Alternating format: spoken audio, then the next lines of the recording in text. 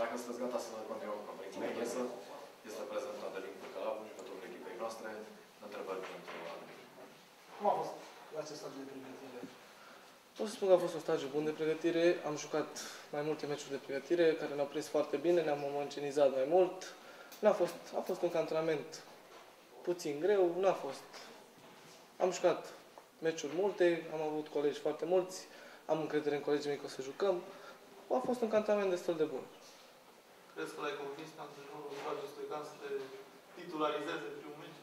Sper din toată inima să îl fi convins să de, că am demonstrat că merit să joc și sper să fac să joc cât mai bine. Cum vezi tu partida cu Polia și pleacă favorit sau nu? Noi plecăm cu a doua șansă. Ei sunt clar favoriți, jucători cu experiență, jucători care au jucat mult timp în Liga 1. Noi suntem copii, tineri. O să încercăm să demonstrăm cu ambiție, determinare și să fim o echipă unită. Care, care crezi că va fi soarta echipei în această a doua parte a campionatului? Păi îmi doresc din tot sufletul să ne îndeplinim obiectivul, să scăpăm de retrogradare. Asta este cel mai important, dar o să fie greu. O să muncim uniți, o echipă și o să încercăm să scăpăm de retrogradare. Tu și Filistei ați fost evidențiați în acest an de pregătire. Vă apasă, nu știu, din punct de vedere mental, psihologic,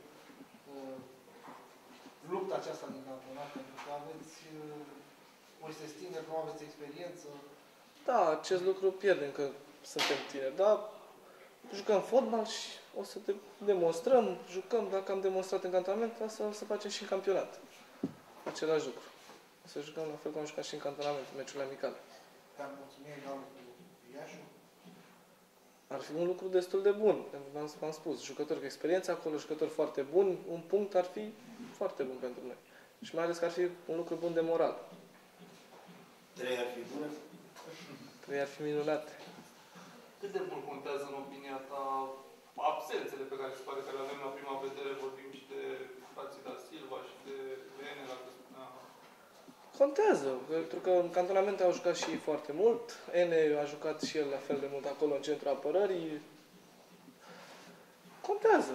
O să joace jucători, n-am idee ce echipă o să fie, dar sper să fie echipa bună și să jucăm, să câștigăm măcar un punct, cel puțin un punct. Patină sau ghete? Ce-ți voi la picior?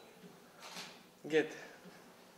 Cum crezi că vor fi, nu știu, spectatorii, dat în faptul că acum au un Sper să vină- local mic? Da, asta, asta. Sper să vină cât mai mulți spectatori, nu ca am trecut, și să ne susțină. Nu cum era în trecut, venea Steaua, susținea Steaua, sau venea Dinamo, susținea Dinamo. Regretați într-o măsură decizia de a nu mai intra pe teren în partea a doua la ASEA? Regretăm că am pierdut cele trei puncte, am luat amenzi, am, am avut de suferit. Trei ar fi trebuit să intrăm, jucam și asta e. Am pierdut cele trei puncte. Șase. Șase cu... Trei cu... Trei cu Mureș, șase au fost de total. Tu personal ce-ți propui în partea a doua?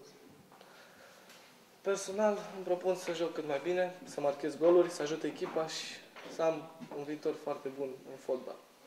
Să îmi fac un nume.